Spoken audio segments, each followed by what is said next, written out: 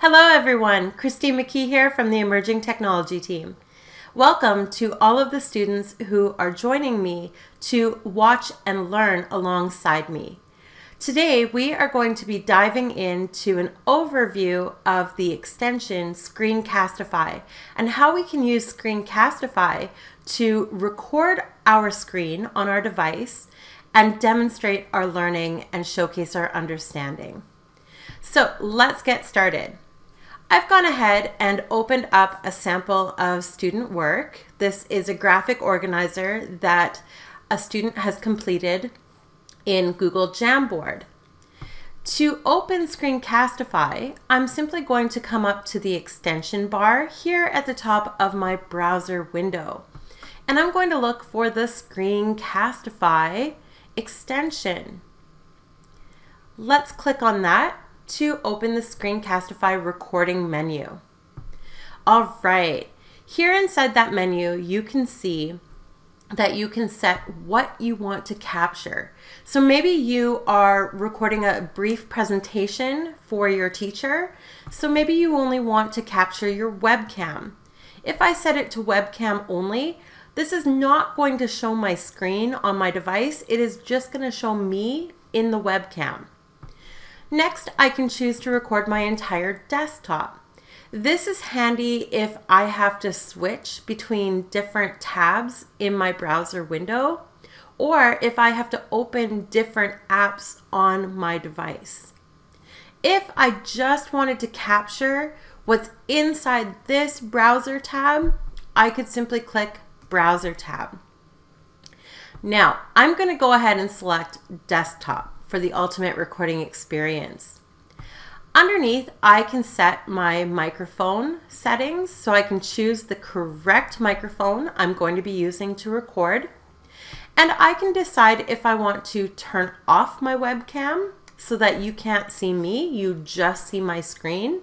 Or I can leave my webcam turned on and I can make sure that it's set to the correct webcam.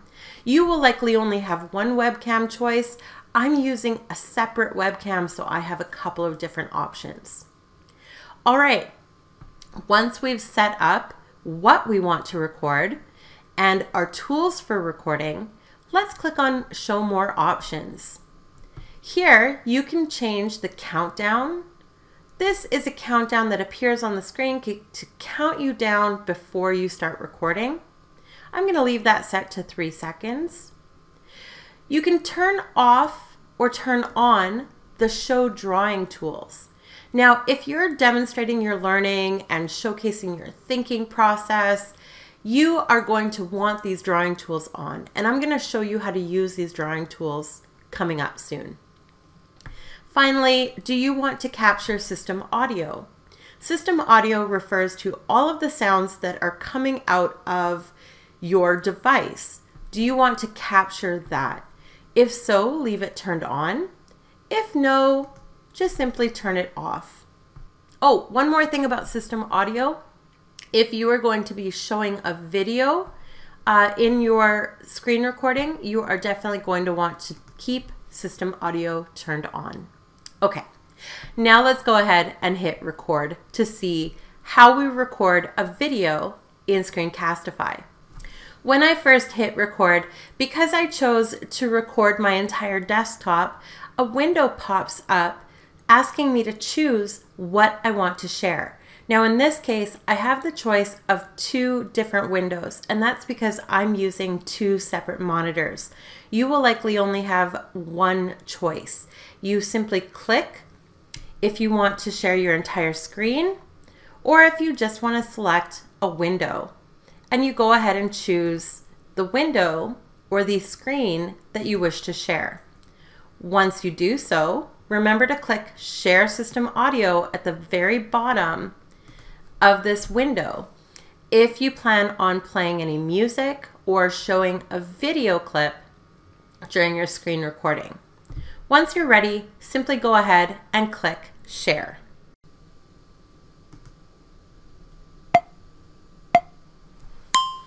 So you notice that I was counted down from three, two, one, and that's when my recording begins.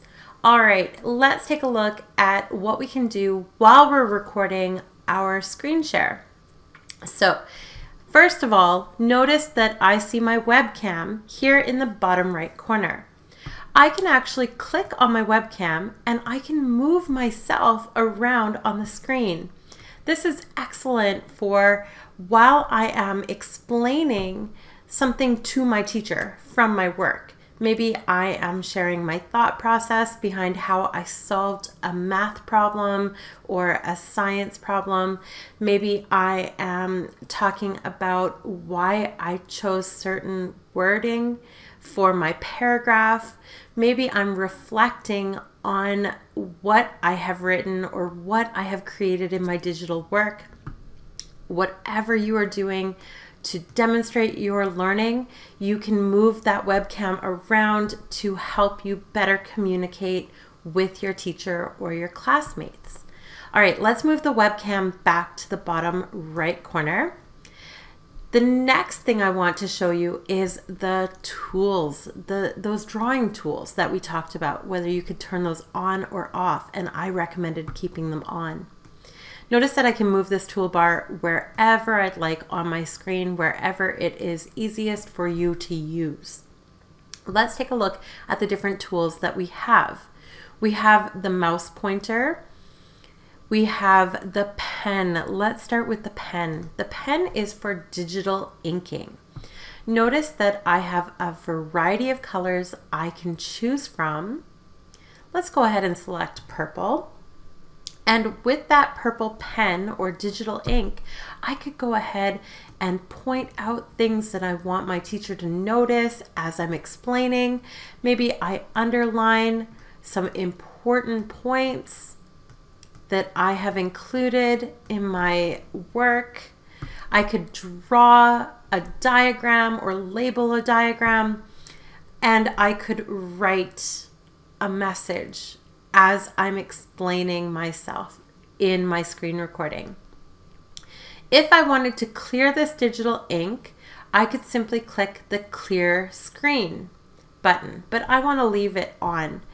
I'm going to click back to go back to the other tools. Now, one thing I'm going to mention before I start showcasing the other tools is that the inking, the other tools that I'm going to use, they're not actually putting anything on my digital work. This is only appearing in the screen recording and I can clear it anytime. Okay, let's take a look at the next tool, the rectangle. Again, when I click rectangle, notice that I can choose from a variety of colors. Let's go ahead and select blue and I can simply draw a rectangle. So again, this can help me emphasize or point out something really important that I am sharing or explaining to my teacher. I could draw a rectangle around important questions or important points. And again, I could use my digital ink to help me explain um, and communicate my learning. All right, let's click that back button again. I also have stickers. Stickers can help us express ourselves, especially as we are reflecting. Notice that I have a smiley face. I have the cool dude with the sunglasses. The hearts, I love this idea. I think this idea was really important and I wanted to share it with you because the 100%, the thumbs up, and of course, celebrations. And again, I can use these stickers in creative ways as I'm reflecting on the work that I am sharing with my teacher. Again, if I want to clear all of this off my screen, I can hit that clear screen button anytime. If I go back to the main toolbar, I will also see an eraser tool. And if I click the eraser tool, this lets me erase just one thing or one part of what I have added, there we go, to my digital work, rather than clearing the entire screen. Okay, the last tool I'm going to show you in this toolbar is I have the ability to stop my webcam. Because I'm recording with my webcam turned on, notice that I can stop my webcam or turn it off at any time. If I wanted to turn on my webcam again, I could simply click Start Webcam. It's going to take a minute to load up, but you can see that it restarts your webcam. So you can turn that off and turn it back on at any time during your screen recording.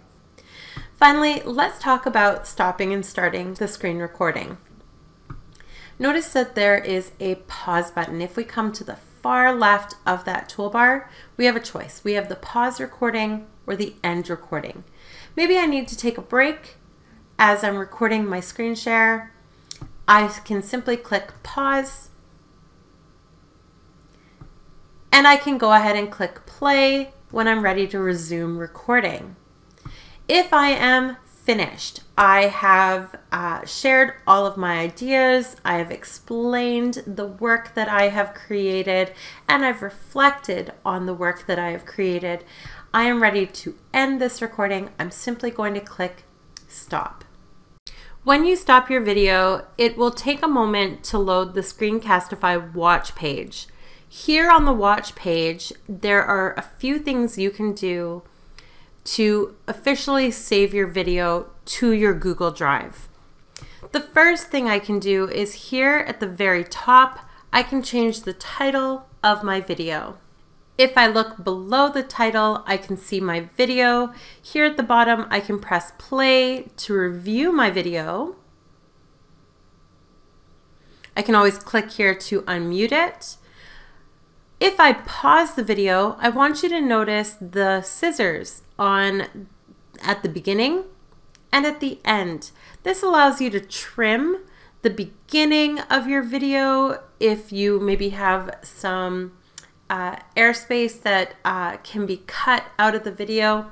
Same thing with the end. We can hit the scissors to trim at the end. You just select what you want to trim and click Save Trim.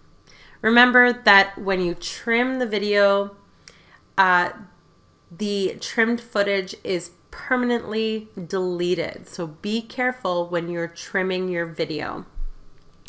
Remember to click trim and Screencastify will take a moment to trim or edit your video.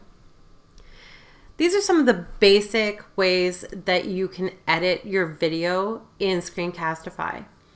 Now, I'm going to pause this video. I want to bring your attention here to the right side to see how you can share your video.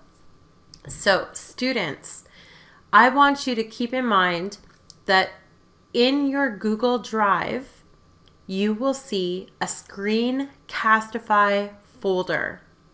This is where your Screencastify videos will be saved to automatically all you have to do to share with your teacher is copy the share link